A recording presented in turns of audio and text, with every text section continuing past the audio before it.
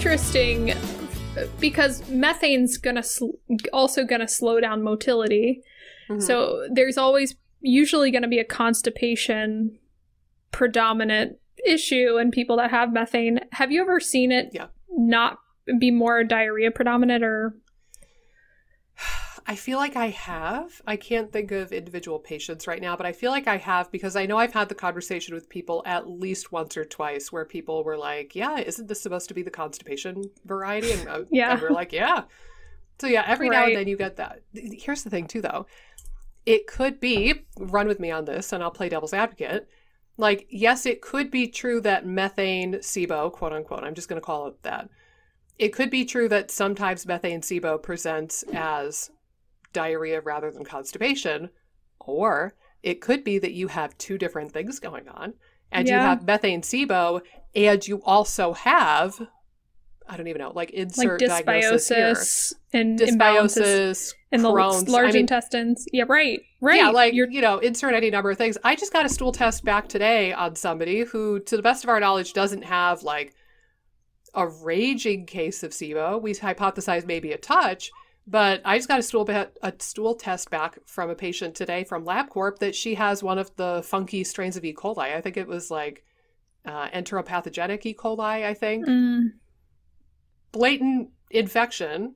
Right. So I, I, forget what my point in telling you that was. Honestly, I think there right. I, the po- the point is that you can still have diarrhea because other other factors oh, in you. the ecology of the gut could be promoting yeah. diarrhea while you might have methane uh, IMO or methane issues in the yeah. small intestines. I think that's honestly, I feel like that's more likely than right. saying, oh, that methane causes constipation like 95% of the time, and then 5% right. of the time you're just a weirdo. Like, I have a hard time believing that. I think that it's probably right. that that is not what's causing your diarrhea, and you need to hunt a little bit more. Like, maybe you have candida. Maybe you have, right. I mean, again, like insert any number of, of pathogeneses here.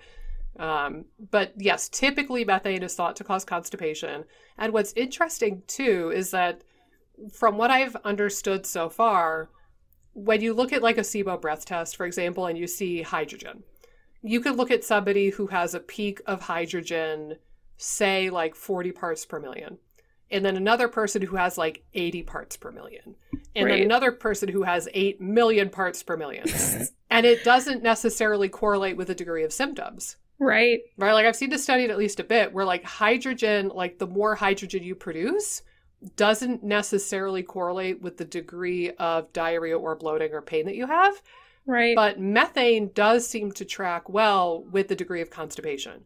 So the right. person who has 10 parts per million methane overproduction is probably going to be somewhat constipated versus the person who has 20 or 40 or 1,000 or whatever. Like the more methane you have or the more methanogen overgrowth that you have, probably that's going to track with more severe constipation from what I've seen, at least. Right.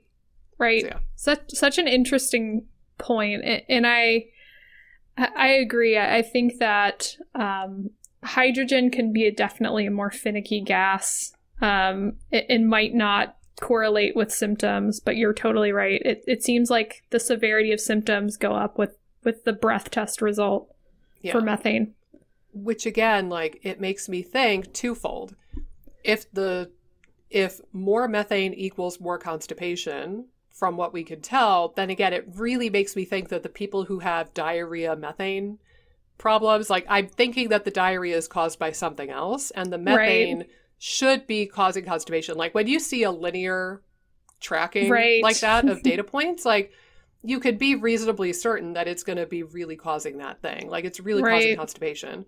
So A, it makes me think that that idea that like some people get diarrhea from methane SIBO is probably not true. And it also right. makes me think maybe the hydrogen overproduction, maybe the SIBO itself isn't the problem that's always causing right. the pain or the bloating or the whatever in the people who have hydrogen based SIBO. The ways that you could assess for methane are going to be either a breath test, right? So you could do a glucose or lactulose based breath test and look for that SIMO, the small intestinal methanogenic overgrowth. And you can start to see the beginning of the colon overgrowth too, right? Like if you have methane overproduction after like the 60 or 90 minute mark, then we're starting to think that you have colonic methanogen overgrowth. And again, like you could still do PHGG, you could still do BioGaia, you could possibly incorporate some allicin or some of these antimicrobials on board. Um, really, again, it's just whether or not you need a lot of aggressive motility support, really is the difference between the two, in my opinion. But um, the other thing is that you can see this sometimes pop up on stool testing.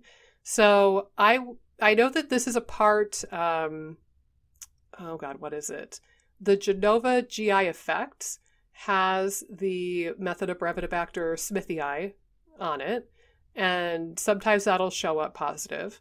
Um, I don't really utilize that test. It's very expensive and not super good for what you get, in my opinion. Um, although it has some redeeming qualities to it. The GI map I stopped using about a year ago, but to the best of my knowledge, the GI map has never had Methanobrevibacter on it. Um, have you seen a GI map as of recently? I don't think they've added that, correct? I think they have methanogens. Really? Let me. I'm I'm pretty sure they do. Let me look it up. Maybe it is on there. So maybe um, that's a more new addition, or maybe I'm just forgetting. It, it, has a it has methanobacter. It has the family. Oh, okay. So okay. it doesn't Same necessarily have. S- yes, yes. Okay, close enough. Um, okay, so GI Map maybe is able to look at that reasonably well. Um, the way that I usually assess for it is just like a 16S based stool test typically. So something like Thryve or, you know, uBiome back in the day would have done this or BiomeSight. Um, but usually on those kinds of tests, like the 16S test, you want to see Methanobrevibacter showing up at like a tenth of a percent or less.